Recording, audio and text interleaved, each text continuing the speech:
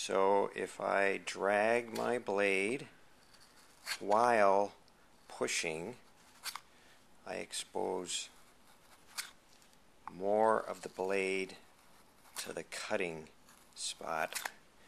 And this increases my mechanical advantage lengthening the stroke. So it's using the entire blade not just the one section touching the wood. So I drag the blade while pushing. And this gives me greater mechanical advantage. Makes it easier to split a certain piece of wood. So dragging the blade of my carving tool across a strop, which is a piece of wood covered in leather,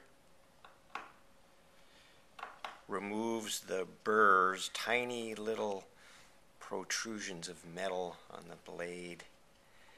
And this sharpens the blade and smooths the blade which reduces the friction between the blade and the wood you're carving both of which give you a smoother cleaner cut. It's all about mechanical advantage